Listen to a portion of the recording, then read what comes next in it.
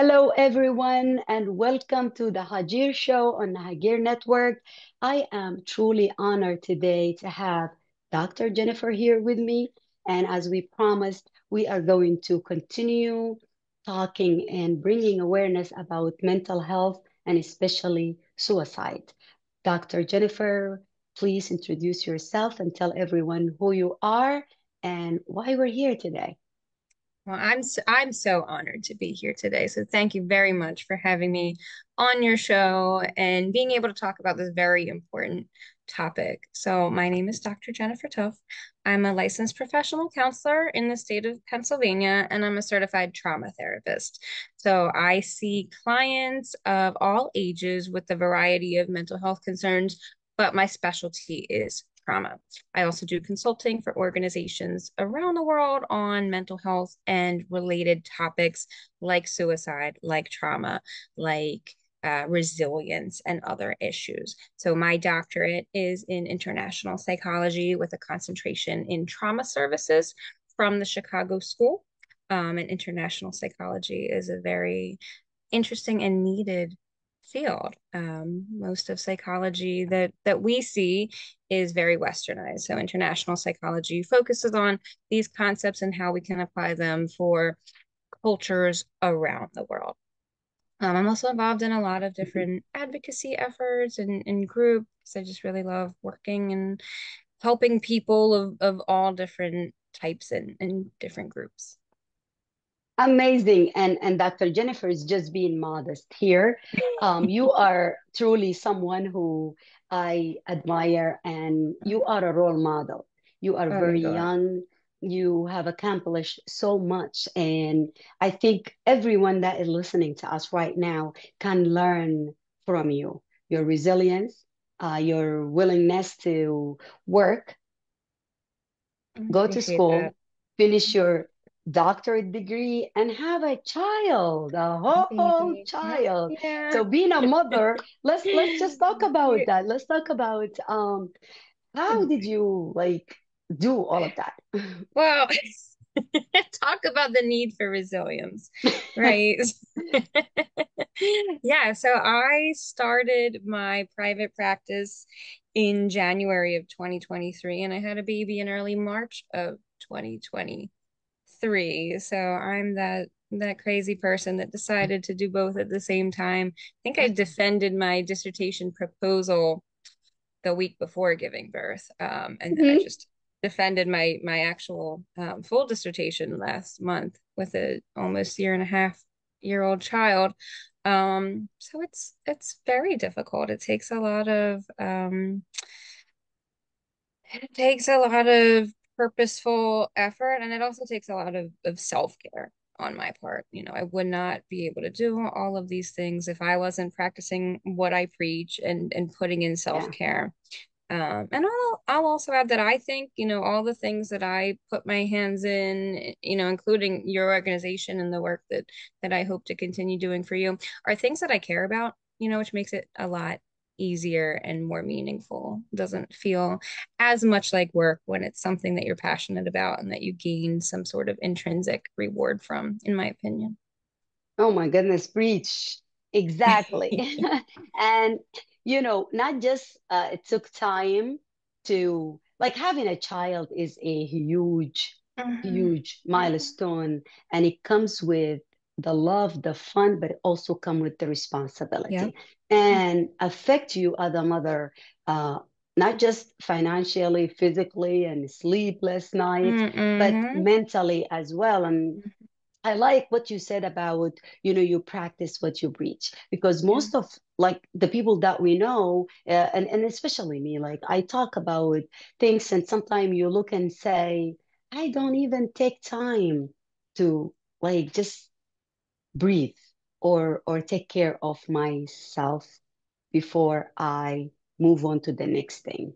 And those kind of pressures, you know, lead to not just stress, it push people to either consume drugs Yep. or alcohol or thinking about ending it all. Right. suicide is a huge issue.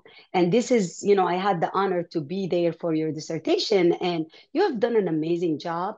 And not just with your graduation and your, your defense, but choosing that topic. So how did how did you focus on the suicide? Let's let's start about Yeah. what the relationship between mental health in general and suicide, or someone is willing to to end it all.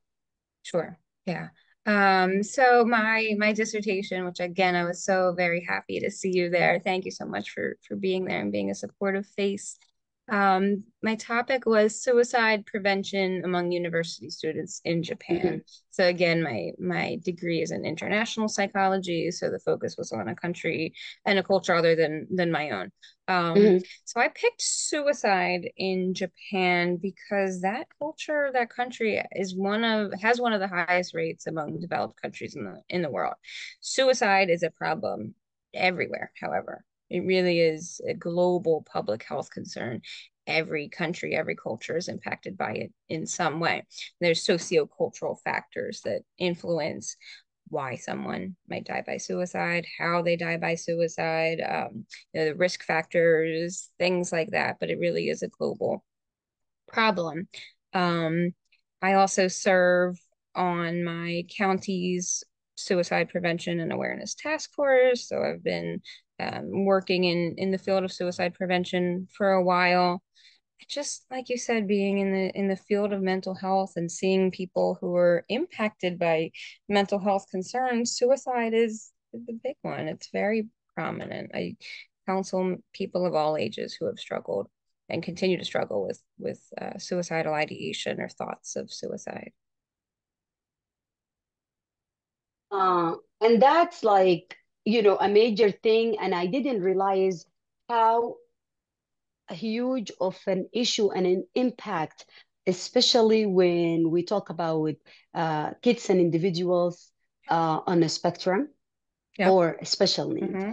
Um, Mm-hmm. you know, we all know about, you know, veterans. I've done shows about, uh, you know, suicide within our marginalized group, Right. um, you know, the bullying, everything that is happening now with the social media, with the self-image, with so many things around us that is factors that affecting the young people and to hear that an eight years old or a 10 years old commit suicide this blow my mind but.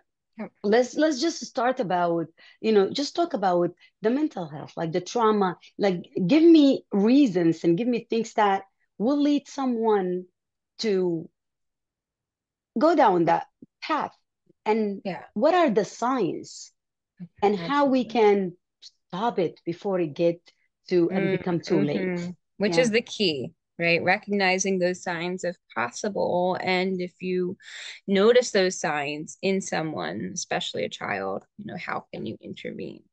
Um, you know, so there isn't one reason why people die by suicide. You know, I wish it was that simple that it's blank causes people to die by suicide, but it is very complex. And again, like it does depend on on someone's culture, on um, you know, their personal history and factors.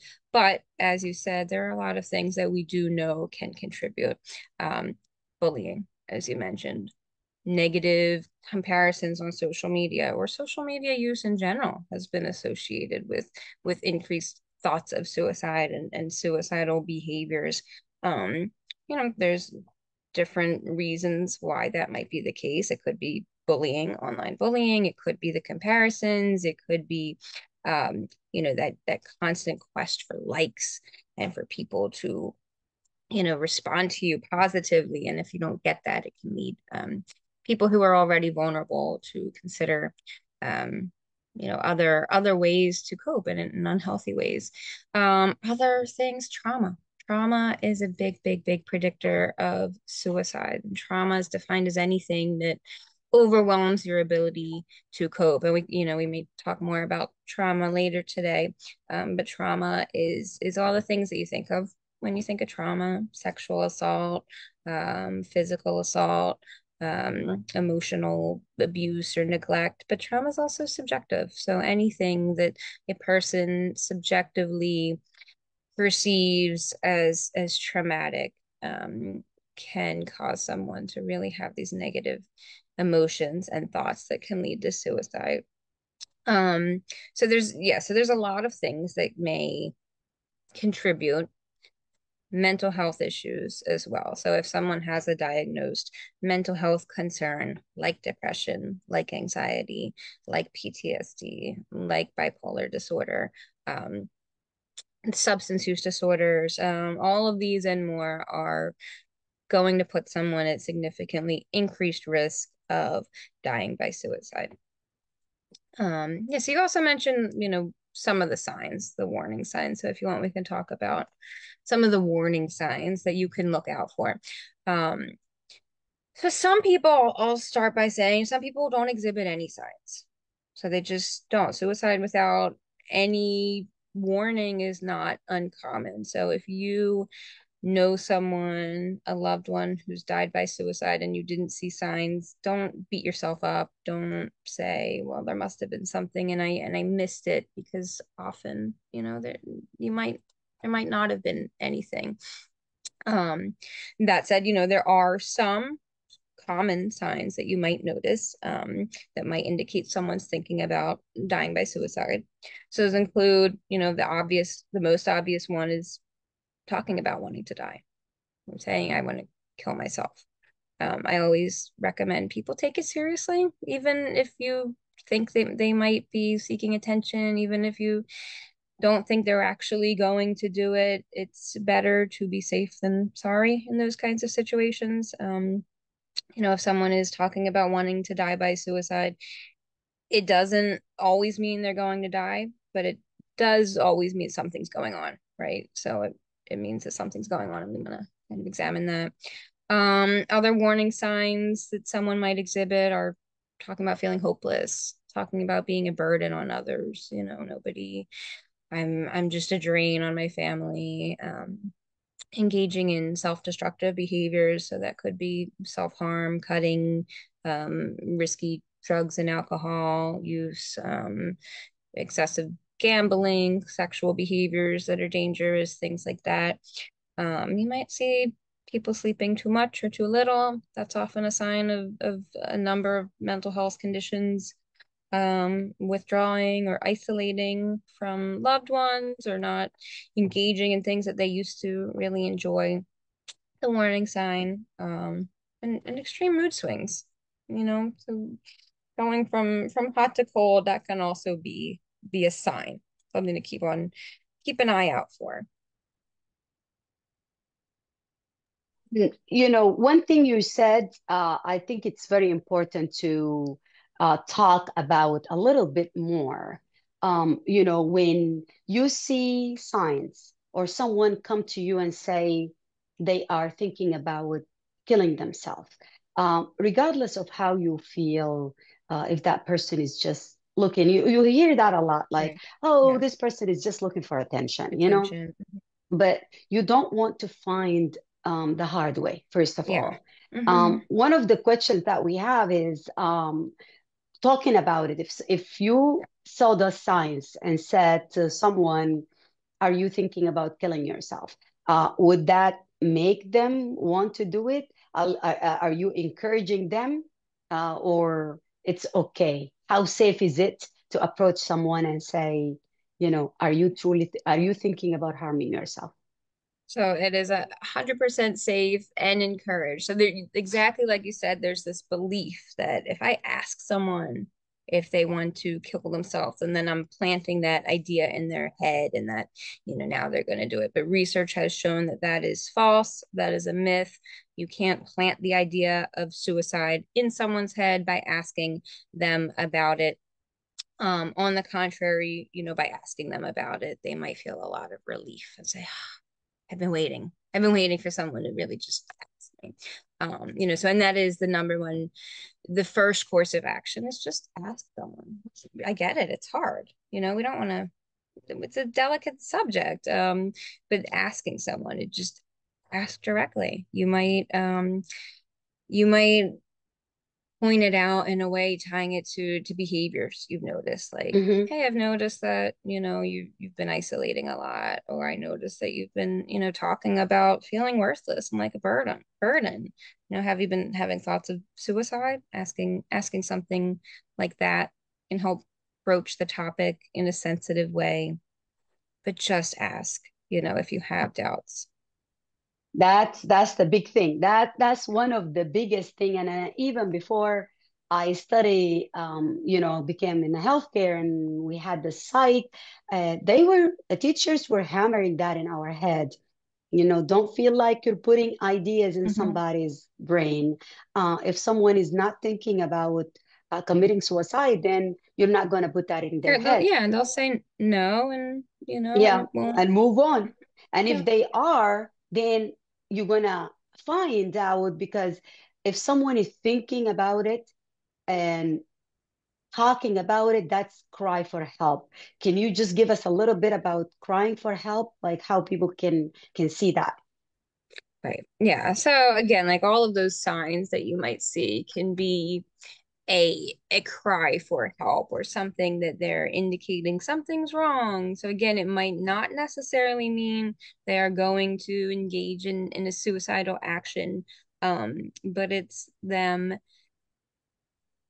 projecting this something's going on and this is the way that that it's coming out for me so again asking that way even if again even if it isn't thoughts of suicide you know maybe they will give you an answer of you know yeah you're you know you're right I have been isolating a lot. No I haven't been I don't want to kill myself but but I have been feeling really depressed lately you know so hmm you can get some sort of answers there and and, you know, depending on your role, whether it's parent, friend, teacher, counselor, you know, you can help in in your way or Yeah, point them in the right direction. Perfect. So the the steps are somebody thought about committing suicide and then develop an action or a plan. Yeah. Let's Right. um, plan Yeah. and then carrying on with that plan. Right. Yeah. I mean, that's Um, what we usually like. So counselors, when we when we do suicide assessments, you know, we ask, are you having those thoughts? Okay. A lot of people do. You know, it's not uncommon. I don't want to stigmatize having those thoughts. It's like I said, it's common in many mental health conditions. Um, But then we ask, okay, well, do you have intent on, on acting upon these thoughts and, and have you thought of a plan? Because that can indicate that there's some some seriousness behind these mhm, thoughts. It's not just a mhm. thought at this point. They want to act upon it. Okay, okay. So what what are some of the questions, if you mind, don't mind me Yeah. uh, having you say it so everybody out there can benefit from it? And before we do the science, um, the emotions. I know we are a Mm. very fast-paced um, society right now, and everybody wants to look perfect. Don't want to. We want to be Mm-hmm. numb. Mm-hmm. So I want you to talk about that. The fe- that uh, the feeling is a normal feeling. You have to be anxious when you see something. You have to be scared if something is scary. You Mm-hmm. have to feel down, the ups and downs. This is Mm-hmm. part of life. When does it become a problem that need addressing? And when is it just a a regular hormonal Mm-hmm. body Mm-hmm. life like? Mm-hmm. That's that's the first part of the question. And Yeah. then the um, you know, the numb society like we Mm-hmm. want everyone to be happy all day Yeah. uh, or just be in a robot. Right. hmm Right. Yes, that's a great question because we we all feel feelings. Feelings exist for a reason. They serve to, you know, let others know how we're feeling. They serve to protect ourselves. Um, I always I have been a lot now talking about Inside Out.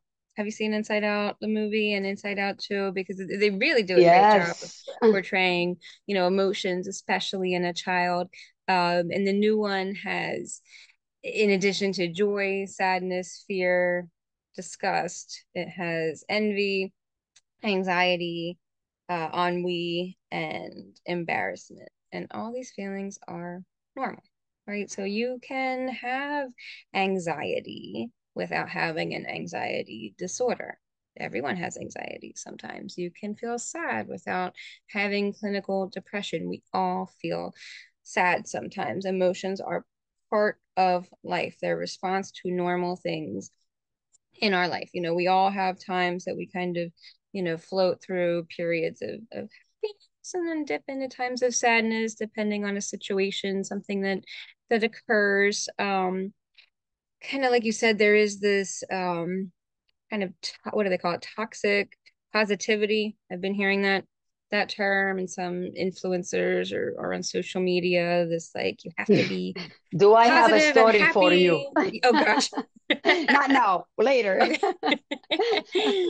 But but yeah it's because it's toxic because it's not number one it's not a, attainable um for us to be happy all the time. Um so it makes people feel guilty if they're not if you know i should be grateful every second of every day and i should be peaceful and present and mindful and, and living in in this state of joy. Nobody does that even the people preaching it online. It's not real. It's not attainable. It's going to make you feel um you know hard on yourself and guilty and, and perpetuate this this negative feelings if if you feel like you have to live up to you know this ideal of only positive feelings all the time. Um, so again, like Inside Out shows, you know, there's a balance. There's a balance of of all of these feelings. Now, when does it become a problem? So generally, from a clinical standpoint, you know, emotions. There's criteria for certain, you know, disorders. Um, but generally when it interferes with your functioning is what I like to say. So if you're having anxiety um, and it's it's interfering with with your functioning, so it's happening and it's preventing you from going to to work or school. Um, if you're having, you know, a lot of sadness that is interfering with your ability to socialize, um, then that can really indicate that there's something deeper going on. So, you know, be mindful if you feel like these negative emotions are um, mm-hmm. you know preventing you from living your life in in the way that you want then that can be a good time to talk to a counselor and see what's going on.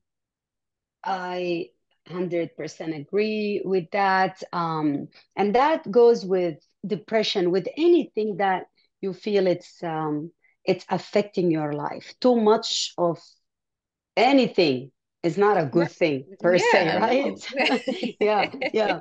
Um, about toxic positivity about, that my girls used to say to me that i have toxic positivity um, and i you know i'm always someone that look at the glass half full mm-hmm. all the time mm-hmm. seeing people people are all good unless mm-hmm. you know i mean when i was younger that used to be like it now I see things.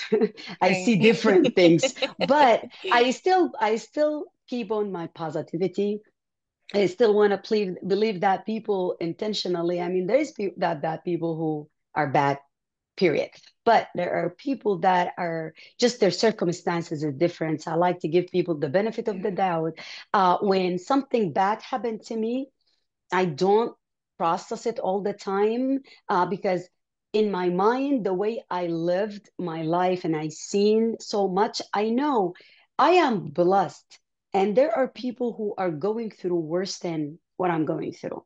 That used to be an issue between me and the girls. Uh, you know, when they come home and say uh, they had a tough day or whatever, I listen to them and all of that. But then I start automatically bringing up the topic that there are kids in the world who are mm-hmm. hungry, mm-hmm. they're homeless, they're going through way more issues than you. Yeah. And it until they sat me down and they said, other people going through a lot, but that doesn't mean doesn't our issues me, are yeah, not big. It doesn't me... minimize.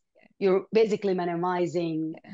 our feelings. So it's like uh, you just have to find that balance. It's, you it's can tough be for positive. parents. It's really mm-hmm. tough for parents because yeah. as parents, you want to, you know, they say something, your kids say this bad thing happened or they feel sad and you want to cheer them up. You want yeah. them to focus on the positives and you want to say, but you have this going but think of but find that fine line, right? find, but it doesn't, find, you know, for yeah. But to find that yeah. fine line exactly, because the kids yeah. can feel you know, I hear this from teens, my teen clients a lot. Like my parents just don't, you know, I just want them to sometimes say, gosh, yeah, that sucks. That sucks that you're going through that. Like I hear you. Yeah. You know, they want to Yeah. just be validated. Yeah. Um, so And if you yeah, can exactly. relate, Fine line. It's a fine line. And if you can't really relate, like I did finally when my girls are older, you know, I try, you know, you try as a parent, you try. When they got older, I said, sometime I might not relate to the issues and and you seeing it as big uh, because to me, when you have so much going on in your life, sometimes not much that fade you, not much become an issue for you. Like I've seen it, done it, been there, done that, walk around. Those songs are not for re- for no reason. They they have a for reason. But anyways, once you realize that, just you know, move on and and and be positive, be positive, but also, you know, Yeah. allow some realistic Right. expectation Yeah. if No, we if you're absolutely say you're that. not wrong at all. The positivity exercises, I do those in my counseling sessions because they, you know, they work. It's helpful to list things you're grateful for. It's very helpful to, you know, um, practice different exercises that might help you realize the good things and compare yourself um you know favorably to other people Yeah, and situations. Yeah, um positive thinking the power of positive thinking i'm huge on um again it's just a, a balance you know you can do all that positive stuff but don't you know deny or minimize the, the tough stuff happens you know sometimes hmm that just needs to be sat with. Yeah. And don't move on too fast. I learned that the hard way. Give yourself a time to go through the whole process, hmm the hmm depression, the anger, and no two people are alike. You might pass hmm one stage fast, somebody might stay in that stage longer. There is a, a comment here. I really, before we, uh, I hmm have you talk about um, staying on the stages, there is right a, a comment here I really want you to address, okay and I'm not going to say anything. okay Uh, I'm not going to put my opinion. Uh, Raunak, her name is Raunak. She said, I think being soft, a soft person and emotional makes them makes you get depressed from everything. So I would want to know, so being emotion, being sensitive makes you more depressed. Is that what what Uh, no, uh, uh, what she, I think what she meant is if uh, you get depressed because you're a soft person, grown up. If I'm not getting you right, please correct me. She said, I think being soft, like being a soft person, like Okay. for example, if you are a soft person and emotional, someone who, Yeah. like an emotional person, Feels uh, it makes you depressed from everything. So that's, uh, I think that's her. Um, she that that's what you think. Like if if someone is soft and emotional, they get depressed from everything. I disagree with that and I agree to some extent, but let's Yeah. hear it from the doctor. I mean, what, what depre like clinical depression is caused by a lot of factors. It's not, you know, personality traits do have a role in that, right? So like people who are extra sensitive, yeah, that that can certainly put people more at, at risk of depression. So like certain personality traits definitely doesn't mean that every person who's like really sensitive um you know is going to be depressed but that can be a personality trait um that's more prone to depression but also genetics also environment also you know your experiences trauma history um and just physiology a lot of um different factors really are the ones that contribute to depression. So it's saying you know it's just x that causes y um you know isn't isn't always helpful.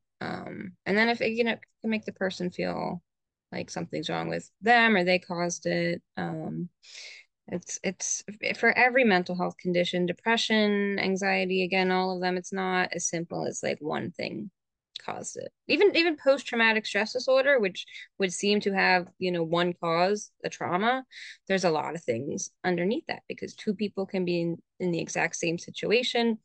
You know, so say a car accident, two people can be in the same car, the same accident, one person gets PTSD, the other person doesn't, and it's because of other factors, again, genes, uh, hmm personality, maybe past traumas, maybe family support or lack of family support, all these things. So yeah, I guess my answer would be like it's not it's not really that that simple, but I do understand the like the thought that yeah, certain personality traits might might feel things um more, you know, in a, in a So stronger some way. people are more prone to, um, you know, uh, with ge- their genetic, with their type of Yeah. personality. Just to sum what Dr. Jennifer said, uh, you are correct.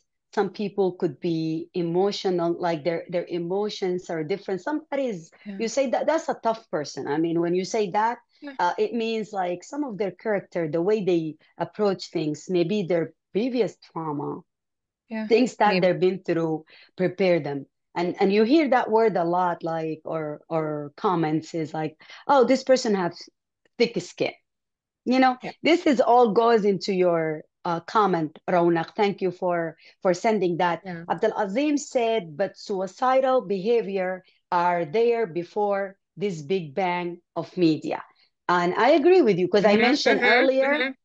And I didn't mean it this way, Yeah. um, Abdulazim and everyone. I didn't mean it just started with the media, but um, and and every, everything is being Right. there, like Right. Yeah. autism, um, uh, all uh, mental uh, disorders, anything existed before. Right. Now our ability to talk about it for us to reach people, like we're sitting here, our videos are viewed globally. Uh, Yeah. you know that that get the point across. So a lot of people talk about it a lot of people hear about it there come now it is on Yeah. your face but what i meant by social media not the existence of suicide or mental health disorders what i meant is it exposed us like when you see someone if, if you're already someone who are, who are prone to compare themselves to Yeah. others have low self-esteem or they believe from what they see that the image is supposed to be a certain way.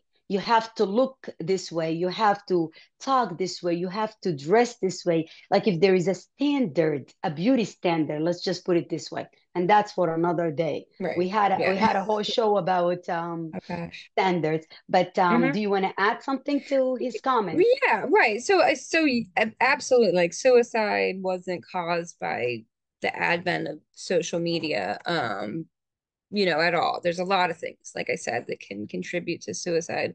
But what research has shown is that like social media does increase depression and, and does contribute to these thoughts of suicide for especially young people. And it, it is for those reasons like comparison, um, you know, like maybe isolating from from the quote unquote real world because they're they're on social media. Um, like this the bullying, you know, there's a lot of things about social media that can make the problem worse. There's good things about social media. You know, there's Mm-hmm. good things about um We are on social media. yeah. All right, we can share yeah. information, positive information, helpful information. Um, you know, it's interesting that that mental health, I mean, mental health is, is stigmatized in almost every culture around the world, still, unfortunately. But I, what I've seen and what research has shown in recent years with, you know, the advent of social media, um, is that we're talking about it more. Yeah. You know, we're talking you. about it more. I think that's it. yeah, we're destigmatizing it little by little, chipping away. Uh, more youth are open to therapy. You know, there's Yeah. in in the United States, more kids and teens want to go to therapy. The problem is that they, you know, problems of access of getting it. Yeah. You Yeah. know, but but it's in, very encouraging that, you know, more people are like, hey, yeah, I want, you know, I want to talk about my feelings with someone, and and therapy is I think on our second, do you see how I put that? On our second uh, show with Dr. Jennifer, smooth, right? She's we booking me for talk. another one already. I'm booking you already for this second one. We can talk about um, the therapy uh, part. Like Mhm. when you discuss culture, like your, your dissertation was not here, college Right. student in Japan. Yeah. And, you know, so the culture play a huge part, not just on the stigma about mental health, but also stigma on how you are um, uh, treating the, the Mhm. symptoms or Mhm. the disorders that you Absolutely. It's have. not Uh, one size fits all by any yep. But we will we will talk about that. We have so Okay. many questions, and I, I promise you guys, right. I am going to get to Okay. your questions or comments. I'm going to read them to her, and if I miss any, please write it again, and I'll see it. So Al Azim said is uh, is kind of uh, bursting out, and he put it in a question, like question mark. So I I asked them to clarify. Do you mean suicide is kind of bursting out, or or uh, yeah? He said yep. He he Okay. responded. So he said, is suicide a kind of bursting out? Well, uh, bursting out like what do you, what do you mean? Give me a little more. Like, is it increasing or is it kind of like a Like you know how um people lash out or say, oh, this person oh have a a temper tantrum. Is it um a way of a coping mechanism or is it a way of just being you know when you say this child right, right. is not Yeah. listening or or just Right. like trying to be Well, yeah, okay. All right. So I, yeah, so I think I understand. So suicide, most suicides occur in the heat of the moment. You know, certainly there's suicides that are that are planned and people take, you know, hours, days, weeks longer and and plan the details, but often suicides occur in an acute state of crisis, you know, so they um have have all this stuff going on and and it gets to that breaking point hmm and then they they do something. So, you know, so in that regard, yeah, it is like the um this this for for many people again, like this momentary decision that Yeah. unfortunately is a permanent permanent one. Um, and I think that kind of speaks to the need for suicide prevention methods that that make it harder for someone to die by suicide. So gun Thank gun you. you know gun laws. Um, if we make it harder for people to access guns, then in the heat of the moment when they are having that you know crisis, that feeling, hopefully, ideally, it passes. You know, they do something else. They um, you know the the feelings go away for at least long enough for them not to kill themselves. Um, you know, that's the idea behind putting up barriers at train stations and bridges that if we can prevent them, you know, make it harder for them to do it in this moment, maybe they won't do it again. And there's a lot of research on that that that, that does, you know, work without someone um, you know, substituting the method for something else. Yeah. So I hope I I hope answered that that that right. If not, Oh, yeah, if not, did. let us know. Um, Uh, uh, uh, let me know, let us know if uh, yeah. that answer your question. But I want us to say something about this specifically. Um, you know, when you see the early signs, early detections, hmm early prevention, speaking about it, raising awareness, you know, being observant. If you're a parent or a friend or someone, and you see someone around you, whether that in school or at work, someone who is exhibiting those signs and speaking about it, or Yeah. you know, don't don't be afraid of going ask them Right. you're not putting ideas in their head Right. first. Second, when you know early, you will assess and see if they have a plan.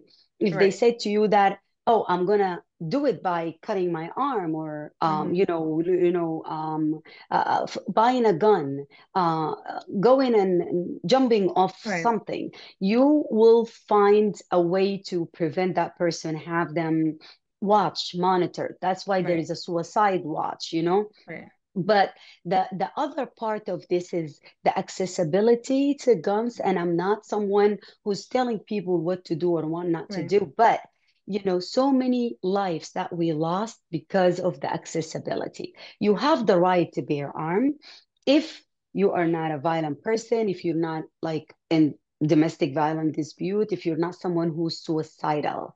And not everyone will go and commit themselves and get Right. Some Yeah. people are suicidal and they walk in among us. But to make it easy for them to go walk in Right. and buy something, there should be a wait. And we, I know a lot of people advocated for this. If someone wanted to buy, um, when you do your uh, background check, mental health check on the person before they purchase, right? Also, it gotta be a wait period Right. you can we can't make it easy to the point that you are upset like uh, uh his in his question someone is bursting out and going in buying it and ending their life so that shouldn't be the easy thing Uh, Yeah. Aliyah I said, yeah. if, oh, you want to add something? No, I was just gonna say I I agree. You know, my gun laws and gun control is its own issue. You know, my we we have guns in my family. We you know we're hmm responsible. I don't want to take anyone's guns away, but it's about being responsible and you know, like you said, making it harder. Whether it's just gun locks, whether if you have someone in your your family or in your Family. hmm household who has depression or or has exhibited these signs of suicide, you know, lock up your guns. You know, make sure they can't have access to them. If Yeah. you are that person and you have access to guns, you know, give them to your neighbors, give them to a friend for, you know, until you're feeling better. Just For make a it, period of time. hmm yeah. Aliyah, Aliyah said, winter is approaching. What's your advice to Mm, those, uh, is, yeah, yeah, especially um, a double suffering, yeah. uh, homesick, winter, Mm, depression, hmm and a lot of people will have seasonal disorder. What did I tell you? We're gonna have to have round two, three, four, five. This is Yeah. So going to be our therapy see, yeah. session.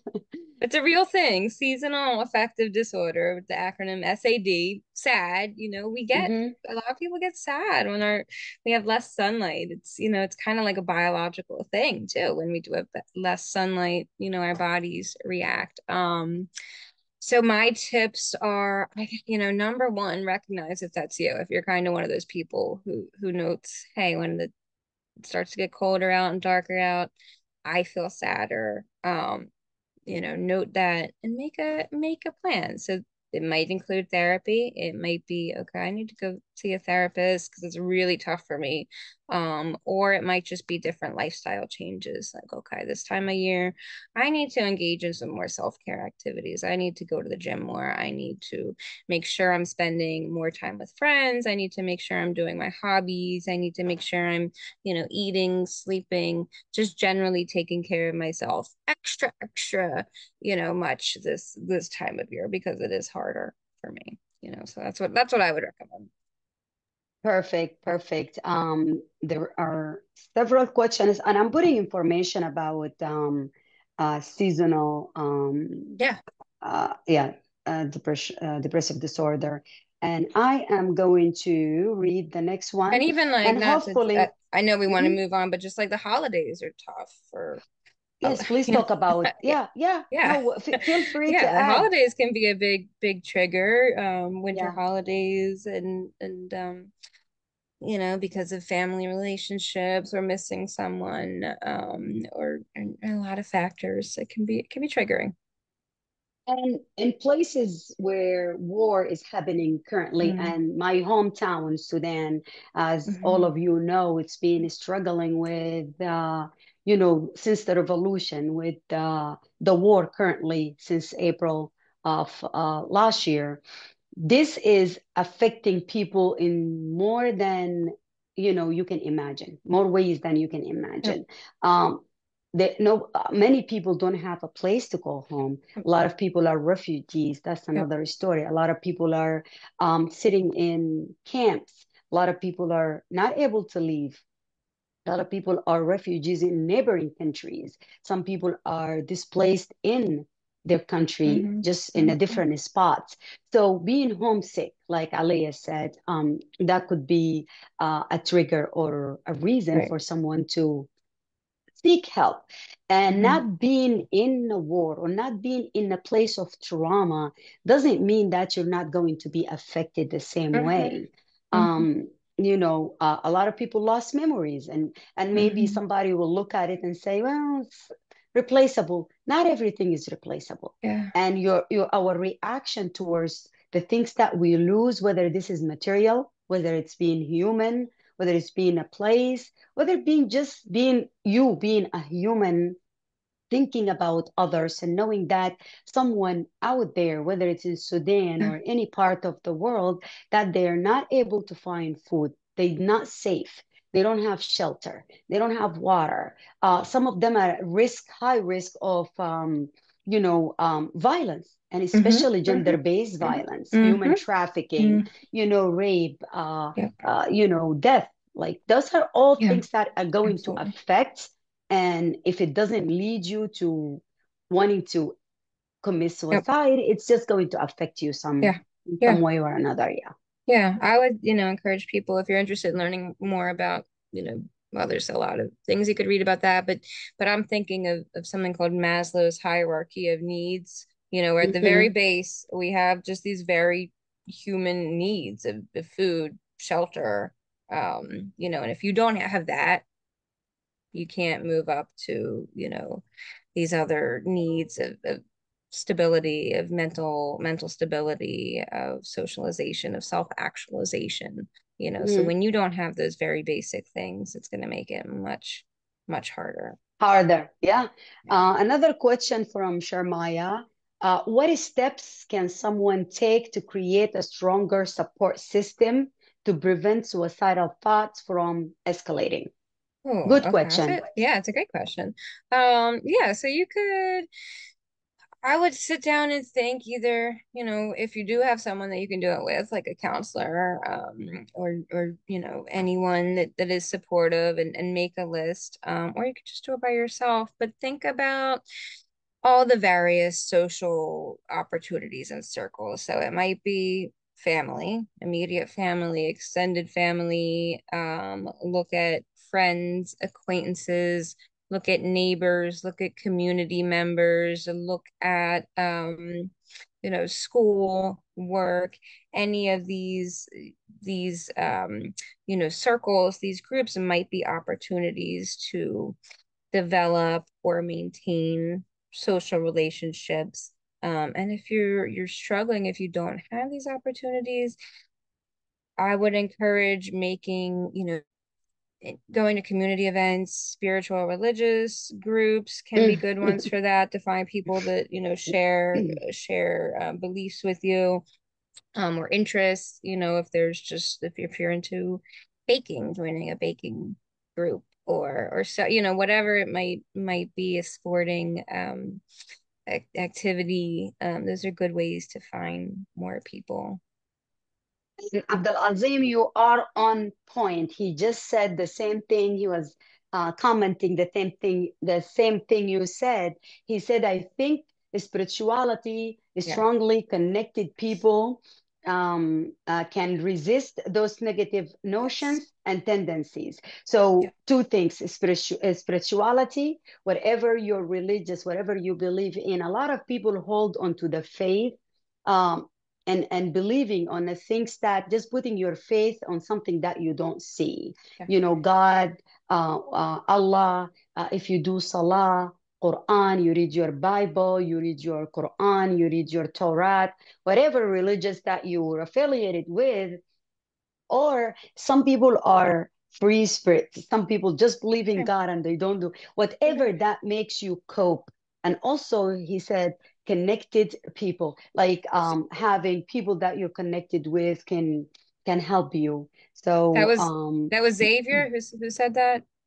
uh that's uh, uh no that's Abdul Azim his name is Oh, okay. So you're Abdullah, you are absolutely right. So that, you know, both social connection and spirituality are hmm considered, you know, what we call protective factors in all cultures around the world. So, you know, protective factors are things that help protect us from yeah issues of mental health, from suicide. So, you know, these are things um, that that make it less likely that we will, um, you know, be at risk for suicide and and be at risk for depression or or other mental health issues. Doesn't mean we won't. Doesn't mean they won't, but it, it's a protection.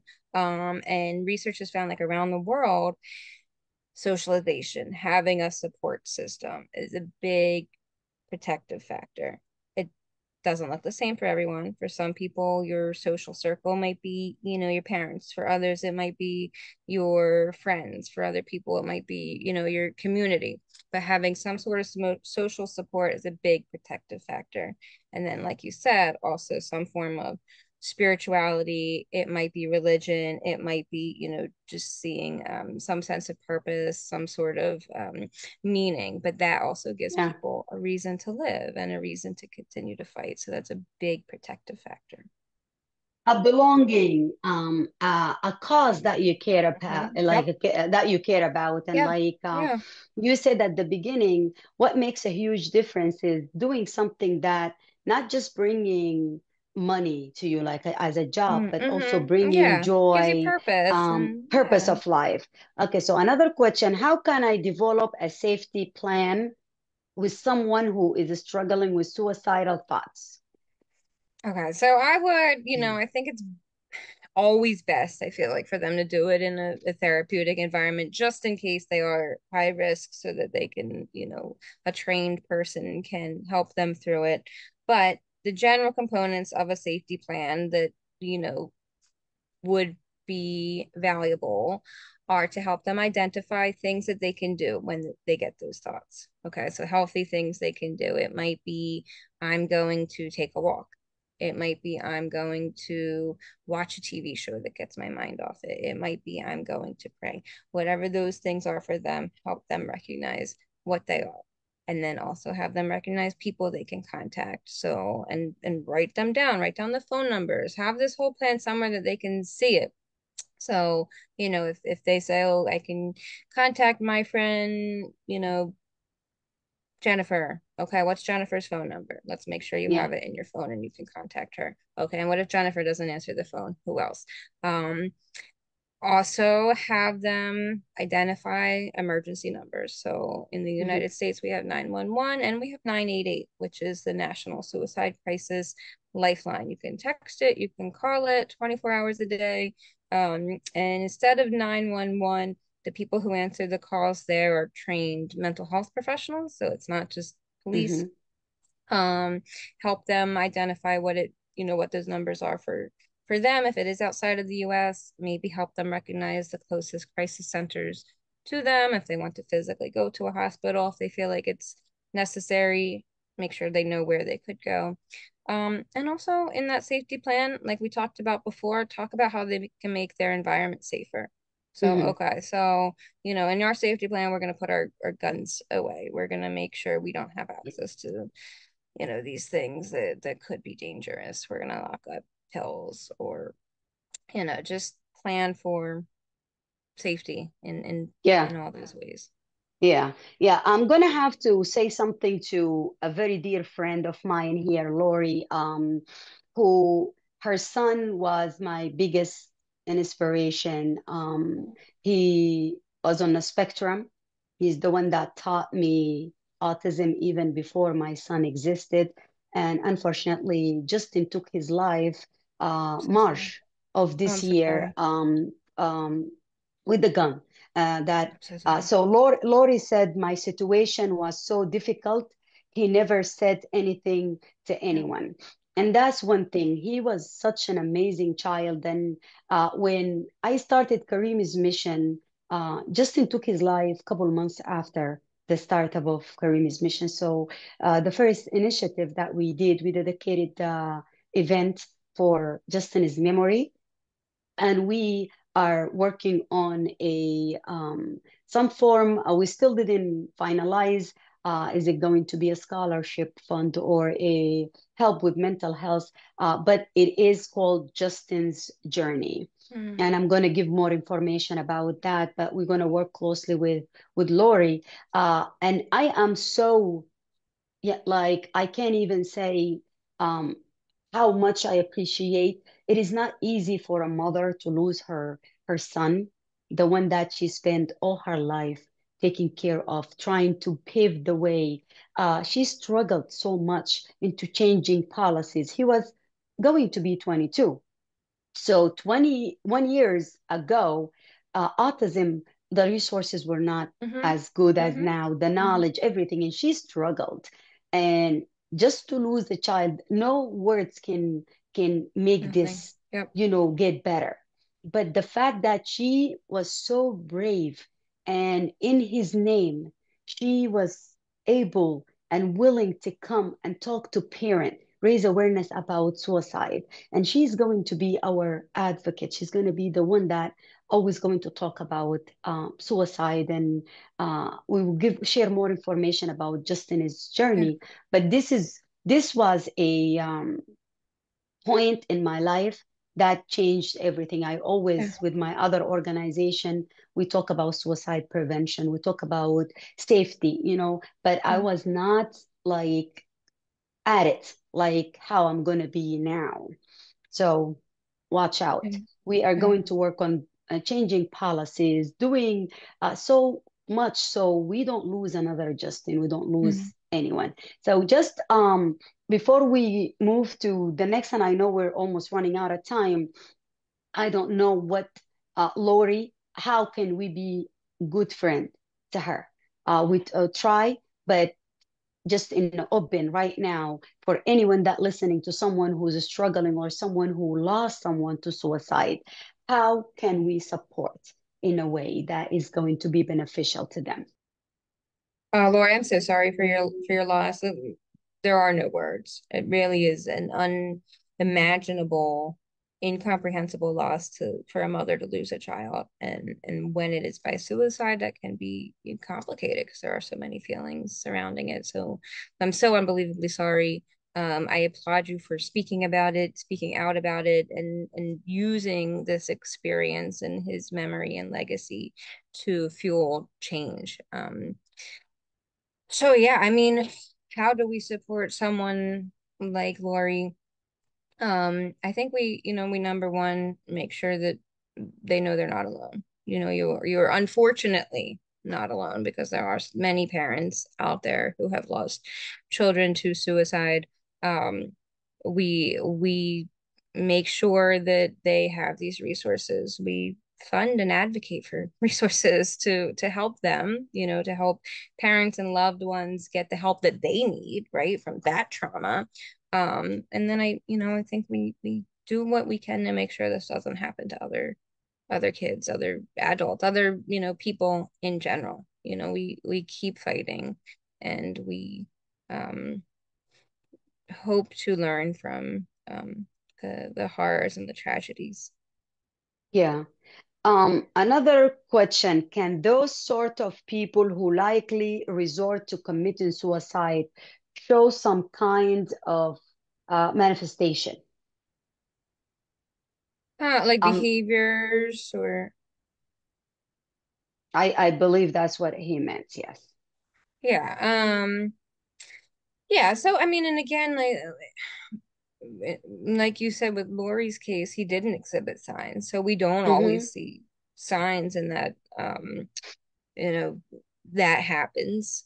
Um but sometimes you do see signs like we talked about these these then they can be behavioral um you know the the reckless behaviors or self-destructive behaviors can be a, a physical manifestation of the inner turmoil um I, I think of self-harm a lot. So, you know, when we talk about self-harm, we talk about cutting. It does not always mean, you know, it often often actually doesn't. People who engage in self-harm doesn't mean that they want to die, but you know, it is something that's associated with it. Um, so you relieve some of the that. stress Yeah. yeah Yeah. So you might see things like that. Lori said, My son took his life on 318. Zero indication that this was his plan. Often I ask myself, What did I miss? Right. I miss nothing. Uh, his mind was set. Yeah. So before you respond to her comment, I'm going to say, Lori, um, I can vouch for you. I known you for many years. Uh, you were one of the best mothers that I ever known. You were a role model to me. You and Justin actually truly paved the road. You were there for a reason for Kareem, and you're going to pave the road for so many other kids out there. There is nothing that you've done, there is nothing that you missed because he was so good to the moment that he left you and his mind was set. And i think it, if there is something that we can like we can't automatically as a person you want to blame something and you blame Mhm. yourself first. You don't want to do that. We can blame the wasn't fault, person who sold them the Yeah. gun you know? Yeah so it is not your fault. You didn't miss anything and yes his mind was set. I can Yeah. say that to you and uh, I'll let Dr. Jennifer Right. No, uh, I mean, to yeah, this no. I just you said it perfectly. It just kind of I, I think I said in the beginning too, like there's there's often times when people don't exhibit any signs at all. You know, it's not uncommon for people to die by suicide and nobody sees anything. So, um, you know, it's a natural to to ask yourself, what did I miss? You know, I should have looked out for this, but um, you know, that it, it happens. There are those cases where there aren't aren't signs. Um, Yeah, you're absolutely right. So, um, there is um, what's the subtitle for the discussion? Oh, okay. So the discussion today is mental health, and we are just scratching the surface. This is, you know, we had uh, we had um couple Arabic um show about mental health. I had few people that talk about it. I have um therapists prior to Dr. Jennifer. Dr. Jennifer is an amazing, amazing woman who's gonna whenever she have time, she is more than welcome. Our doors are open Whenever and you'll have uh, me. I will tell you guys um, when she's going to be with us next. Um, what are some strategies to help manage overwhelming feeling or thoughts of suicide? And uh, we are hitting two o'clock. I know we can sit here and answer your comments and questions. I want to thank all of you. You know, I love you all. And I know this is a topic that much needed. And we, I promise, I personally promise that I'm going to harass Dr. Jennifer until she give us another day. And I I will will gladly come back and answer okay. all of those questions. Yeah. Okay. So this is, I'm sorry, but uh, I think this will be our last uh, question.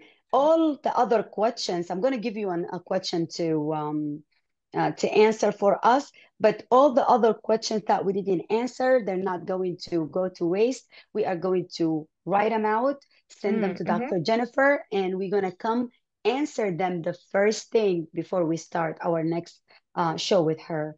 So, um, uh, okay. All right. This is a very good topic. Uh, you got the question for um from uh uh Shermaya, I think.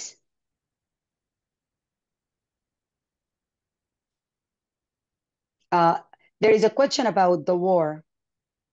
Um it says since you mentioned war of Sud in Sudan, it will much be appreciated if you share advice to get out of the difficult time uh, uh, in a conflict uh, and mentally, like basically um, mental health, uh, avoid any negative effects. So how people, maybe in a minute, um, tell us like how people can, I know this is not going to be enough in a minute.